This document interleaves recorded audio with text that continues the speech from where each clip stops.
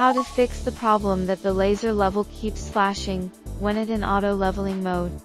Only for Huepar S series, the principle of auto leveling mode is mainly the safety angle alarm mechanism.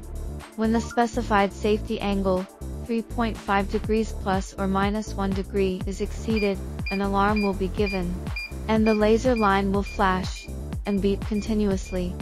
What should we do when the laser level constantly flashes when we encounter the level, the display angle is inaccurate, the tilt angle does not alarm.